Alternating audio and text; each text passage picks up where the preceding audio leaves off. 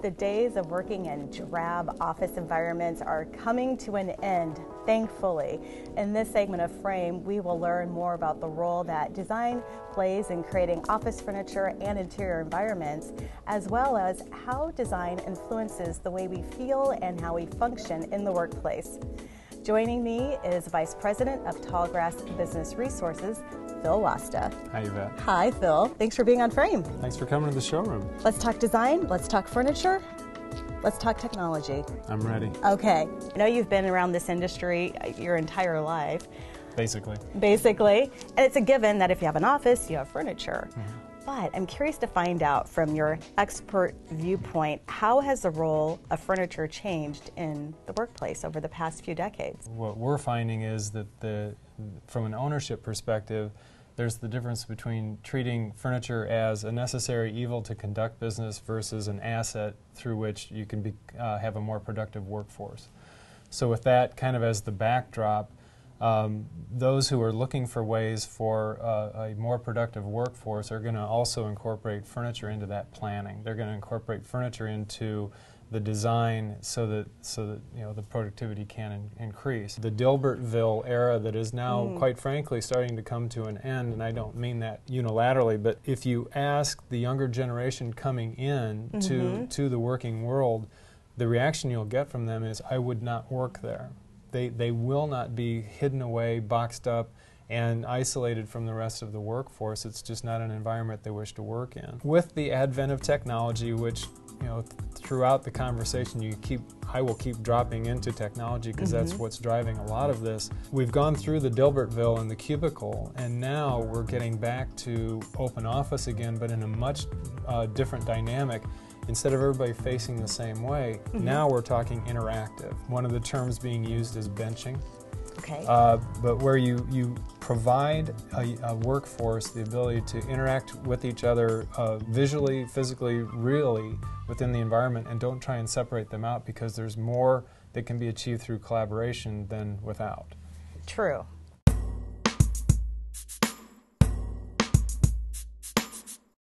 Let's move to personalized environments to make it more home like with the intention of maybe people feeling more comfortable, happier. Right. Color trends, style trends. Splashes of color, warmer tones, earthier tones, anything that has some connection to nature. In reality, I think all five senses, with the exception of taste. I haven't seen a flavored chair yet, but uh, Oh, it might be who knows? It might be coming. They're definitely trying to uh, appease, not appeal, but appease all of the senses. Use of pattern. If you watch any of the popular shows today, you're seeing more and more pattern embedded into the floor. 80, well, probably greater than 80% of the commercial flooring market is done in carpet tile, the, the Oh, like three the foot by three foot, right Okay. uh, such as our floor here. And so what you see is uh, what's called ashlar setting or, or uh, where they parquet the floor. But there's all sorts of different ways to lay that, that uh, modular flooring so that you not only get a field of, of durability, the carpet itself, but you also get a, a visual factor worked in. And uh, the carpet designers in that industry are coming out with such cool patterns to play with that it's no longer this monolithic field of 12 foot wide roll goods stuck to Right. the floor. It- It's something more dynamic. Is Shay going to come back to the workplace? Shag, only at your house. Only at my house. Well, I have hardwood floors, but I could get some shag There's a shag carpet for you.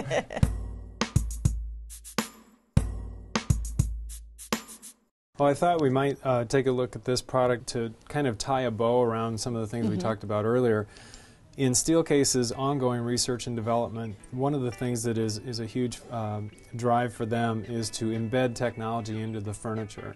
And uh, with, again, flat screen technology, the Yes. fact that technology is becoming smaller and smaller and smaller becomes very possible in ways that was never possible before.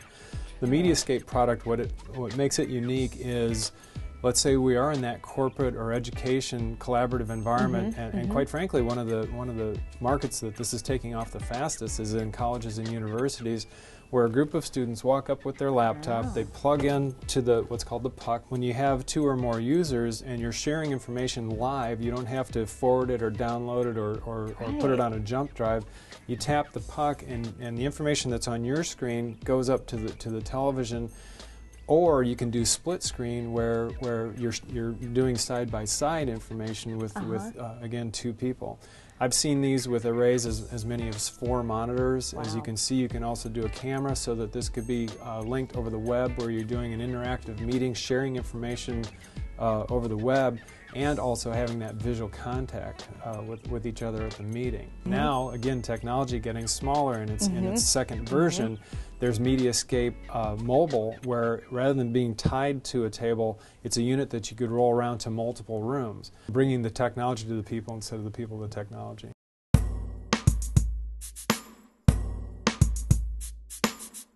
What other environments have been transformed because of design?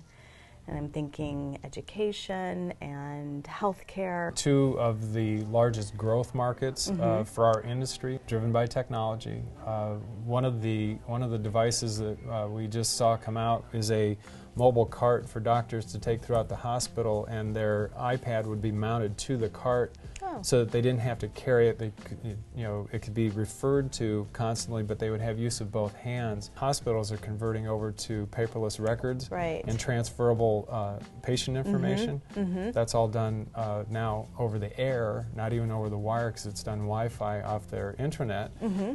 And so the doctor has that information following them everywhere they go. How is the industry addressing the way that kids learn today or facilitating some of their, their needs? Again, same horse, technology. We want a, a technologically savvy workforce. We want kids coming through who are plug and play, if you will, coming into the workforce, uh, being able to utilize technology. And so laptops are starting to be incorporated, you know, in, in uh, elementary school.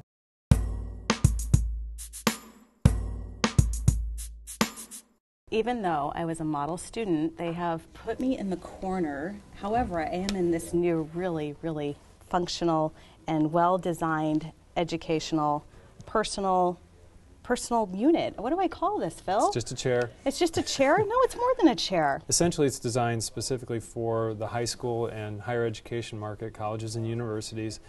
And what they did is they took the old fixed tablet chair, which many of us sat at in high school, and In the they 50s? yeah, and, and it goes all the way around. uh, but they took that standard fixed tablet chair and did some things that bring it to today. Backpack holder at the bottom, uh, so that uh, Oh. the, the kids can bring their backpack with them. It isn't hanging over the back of, of their chair, impeding the person behind Right. them, and they have access to it below. Uh, and then the tablet itself is much larger than what you found earlier, so that you have room Yeah. for your computer and a little bit of, of writing space, but uh, larger for, for laptops. And then, rather than being fixed, can be swung around to the Oh. side to get in and out instead of torquing yourself in and out of those fixed right. tablets. Oh, this is great. And then it's not, not exactly rocket science, but one of the other things that they incorporated later, of course, was the, the uh, cup holder.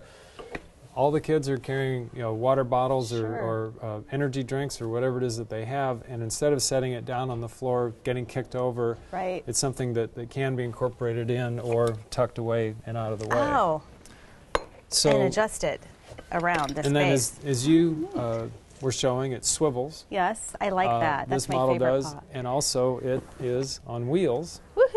So uh, one of the things that a lot of the professors are doing is rather than uh, everything being rowed in, in fixed environments, Mm-hmm. you can go from classroom style, everybody facing forward, Sure. receiving the message, to then breakout because more and more classes are, are being taught in a manner where the kids break up into groups. Right, right. So they can literally just roll their chairs over into groups as opposed to dragging the fixed arms yeah, I remember that. Now, I have heard the concern of chair races out in the hallway, and I think you might be a problem with that. Um, not me. Not you. Oh, I that's would right, lead you were a I'm a model student to That's this right. day. You would say go. I would say go, and I would be on the lookout to make sure no one got caught. Exactly. But I would, I wouldn't participate. No. no, no. Mm-mm. Hey, No. Yvette. Hey, you know what, Phil? I, I just got a Facebook update. I have to look at that. I'll be right. I'll be right with you. Okay? Just one second. One second.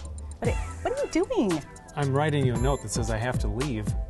You can't write on this. It's like writing on the walls at Oh, home. I can write on this. What? No. It's a collaborative table from Steelcase called Campfire. and you can write dry erase, or you can take the glass off and write notes, and then take the notes back to your desk. This is one of the coolest things I've ever seen. I think you need one for your living room. I do. Okay, I want to write a note too, please. If you have to leave, then what? I have to tweet. you have to tweet. I have to do my Facebook update and then tweet because it does have this. It's got Tweety birds. Oh, very nice. All right, here's my note.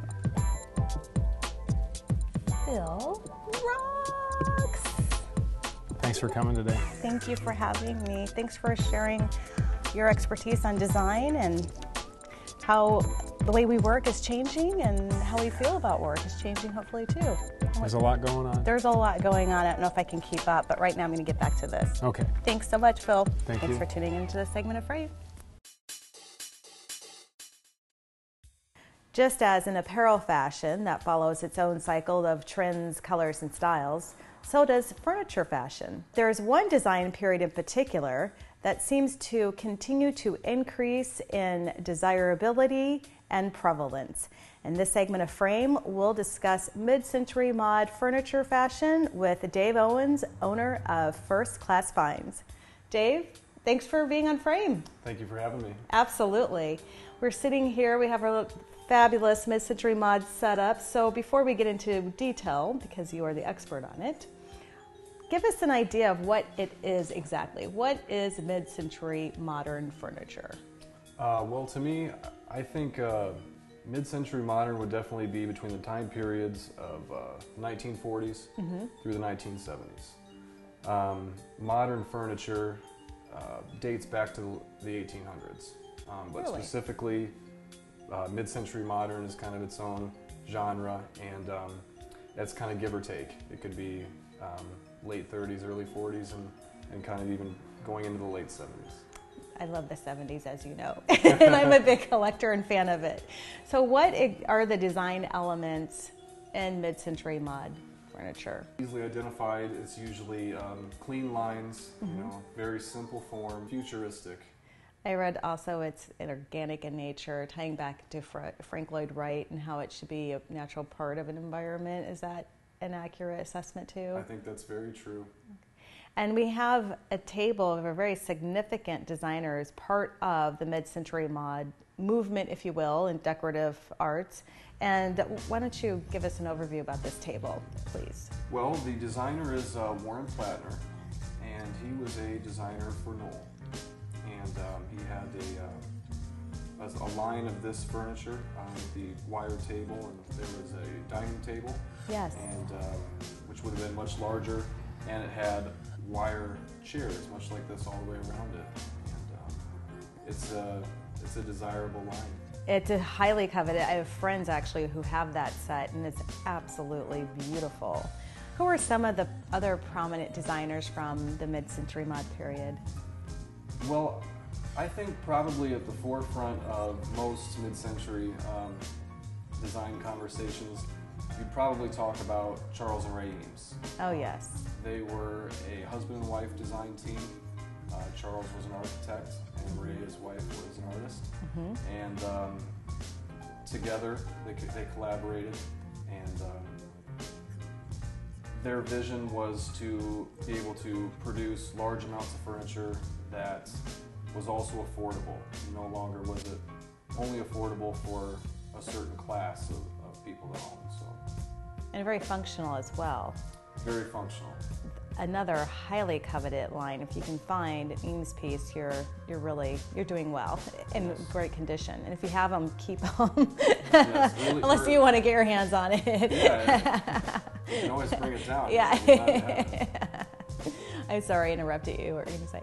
Oh, I just think, uh, yeah, the, part of their mission and, and the reason why they're they were at the forefront is because um, they were doing something a little different, not something everyone was doing. Um, their furniture, their mission was to um, hold a high standard for quality and also uh, design. Which still rings true to today. Do you have any idea why that period seems to be so popular right now?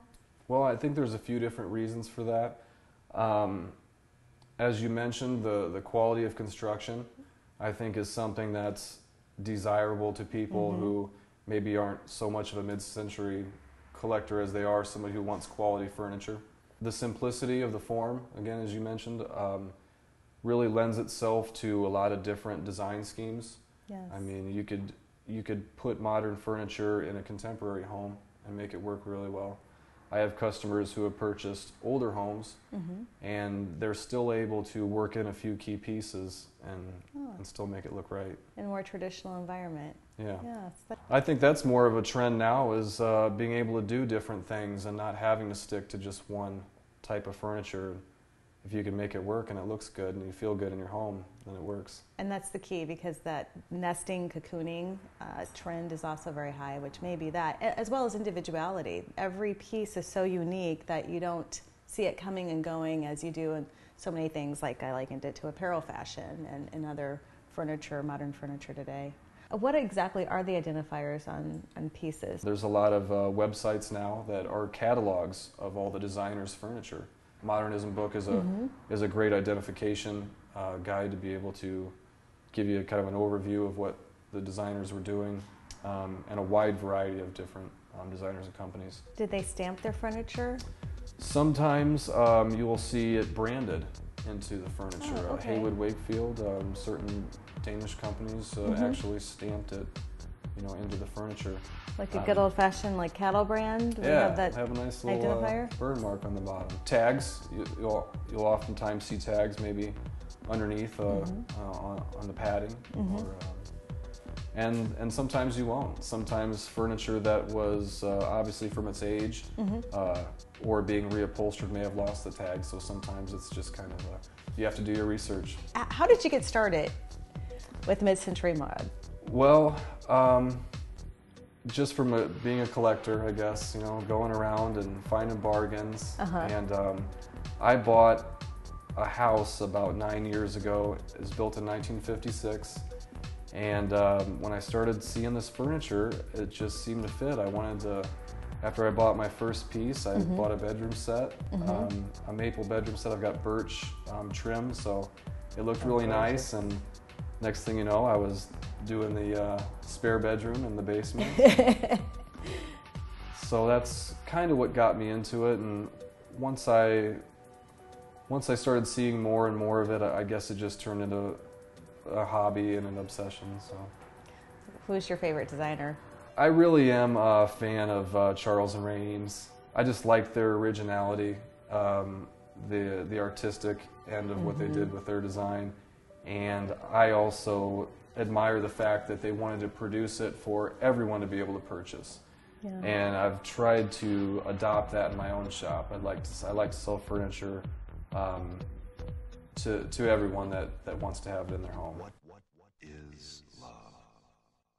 Dave, these chairs, they kind of need to go home with me, maybe. Yeah. Uh huh. Tell us about these chairs. I'm These gonna get up because this These are color's another uh, gorgeous. another Herman Miller um, LaFonda chairs. Uh, Really fun shape. These have been Mhm. recovered. They're not the original upholstery, but uh, they have fun colors, and uh, you can attest that they're very comfortable. Yes, and they, they, swivel. are, and that makes them really, really fun because Yeah. you can mess around on these. And speaking of the the fabric, one thing about mid-century modern design is that most of the patterns and the fabric were really monochromatic, actually patternless. Isn't that true? Kind of ties into the the simplistic nature of the furniture. Sure. You don't have to be too shy with the colors. You can get busy with the starburst clock, the owls. You have a little, what is this thing? It's like a Georgia O'Keeffe piece, kind of, Well, I some head. I really love furniture, but sometimes I just buy strange things as well. Um, it's great. I was in an antique shop, and it was a spray painted cow head, so um, I had to buy it. A cow head. Well, I really know my animals, don't I? All right. Well, I see you were getting ready to whip up some fondue for us. Is there anything else we should know about mid-century modern furniture? Well, I, I think the thing to remember is to have fun with it. There's going to be a lot of opportunities to buy fun stuff.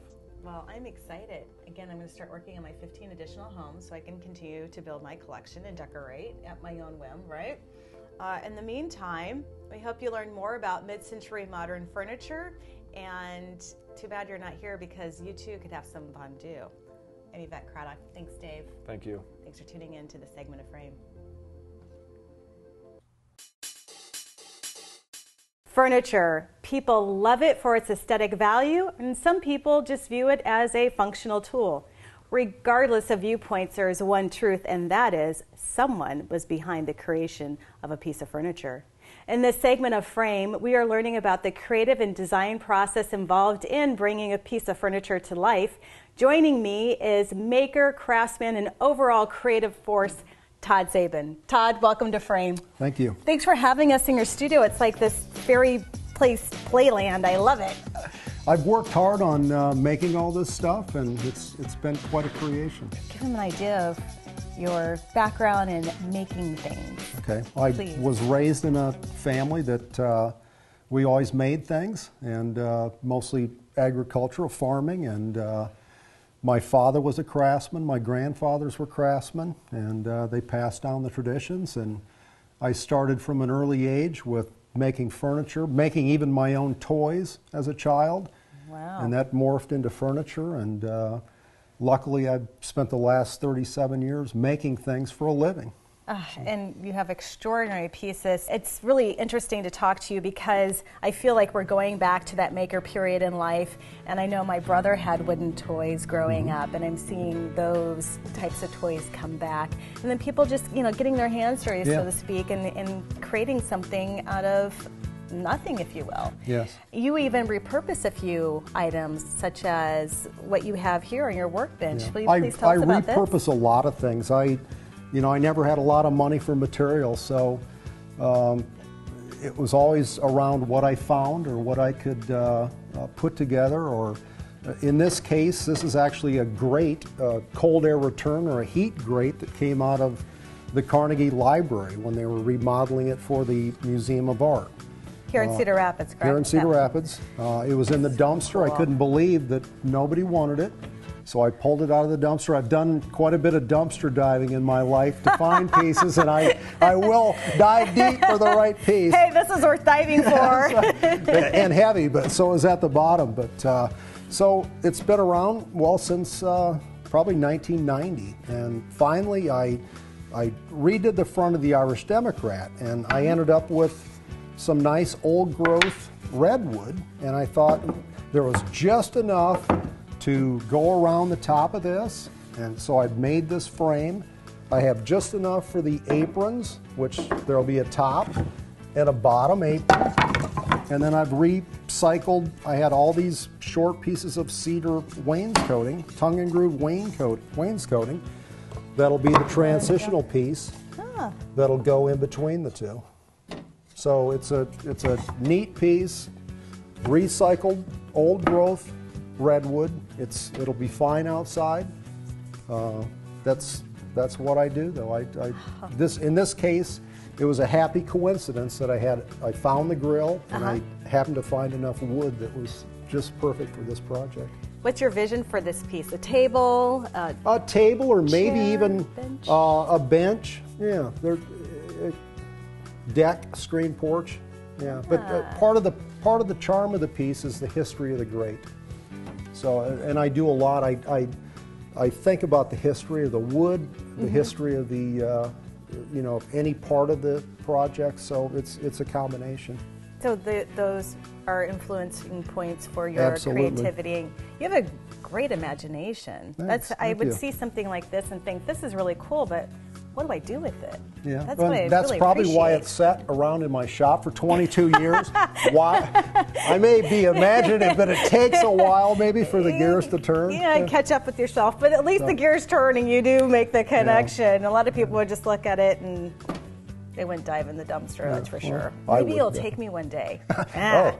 I know all the good dumpsters. Okay, ready to go. Well, I didn't grow a few inches as I really wish would happen, so I'm going to step down. You have another right. piece that Here's is a a- really interesting story. Small occasional table I made quite a few years ago. It's a little beat up. It, it endured three children growing up, so it took some abuse. But I made this table um, out of a piece of wood that was almost identical to this. This was a beam that was taken out of a house that was demolished by an old friend of mine in 1946 when he came back from World War II. When I started working this, I noticed how many growth rings it had, and this beam is at least 100 years old. And this house was built in 1852. So you start doing simple math Right. that this tree actually probably started growing around 1740, 1750. So I gleaned enough material out of it. I resawed it enough to make the chimney on the table, and it's got a simple, just half lap base. And then I resawed enough of the pieces to glue together the top, and then I turned the top. So this is a piece Beautiful. that the history of the wood itself is the, the neat part of the table. I try to combine the historic, uh, if I can get some history with the wood or a, combining that with a real piece. That's kind of That's where what I'm. you do. Yeah, that's what I do. Do you ever sketch your designs or Uh, do you just Not in? very often. Now, in a case like this table, since I didn't have very much material, that kind of drove how much I could build. You know, Mm-hmm. it's not like you're going to take a piece like this and say, I'm going to make a dresser. Mm-hmm. So in this case, you know, you had to scale the project to the uh, the amount of material, but I just kind of go with the flow and. you make it sound and look so easy. Well, like, yeah. where do I begin with this? where would I start? Yeah, it's, uh, I guess, experience. You had talked about kind of the aesthetic and fashion side of this, but you also had a really functional idea for this piece. Getting. I- back to my whole fun, Yeah. some people view furniture as fashion, fashionable. Some people just, hey, it's just something I sleep in, sit on, or whatnot. Right. But this was pretty cool. Well, I thought that this would be cool if you had a deck or if, if you had a, a three seasons, four seasons porch. People are spending more time outside. They, they go out earlier in the spring, they, they stay out later in the fall. Now we've got fancy heaters to heat the out of doors. We've got nice kitchens out of doors. We've got outside fireplaces. So I thought with this piece it'd be neat to uh, just conceal a small little door on one side, an invisible door, and then you could take a, a very simple ceramic heater and place it inside. There's, it would generate enough heat, warm up the thick cast iron.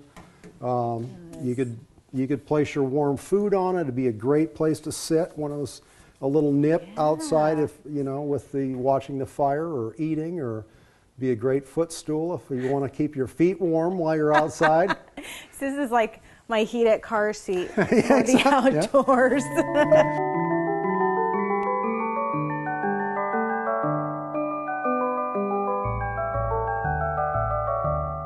You contributed to a local restaurant that has some really interesting art, and this one is maybe steampunkish a little Yeah, bit. oh, yeah. yeah propeller based. Do you want to give us a story?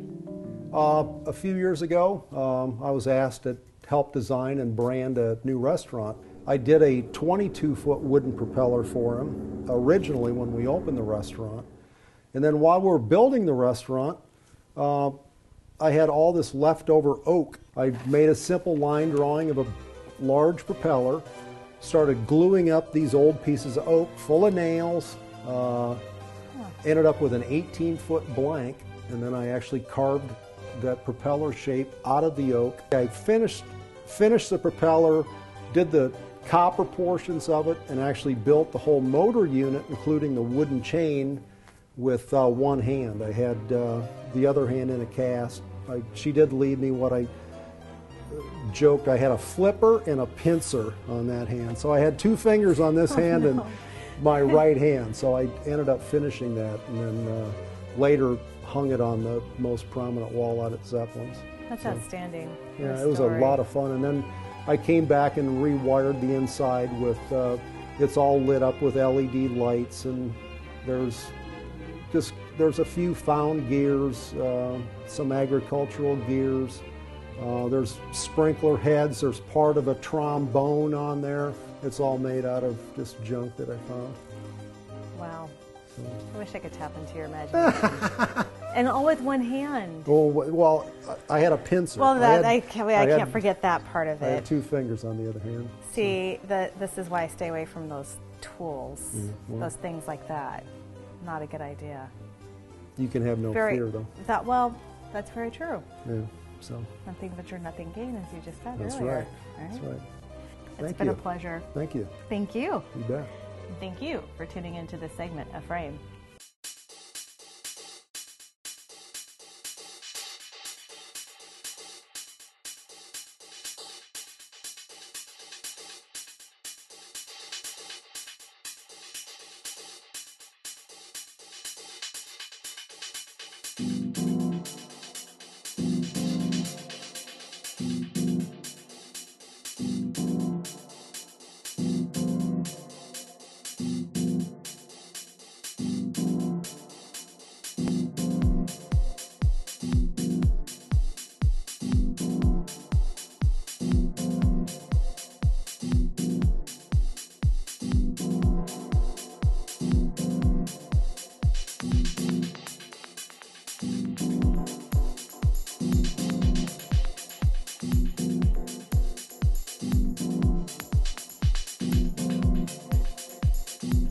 Frame is sponsored by Allegra, Click Marketing Solutions, Style Folio Jewelry, Tallgrass Business Resources,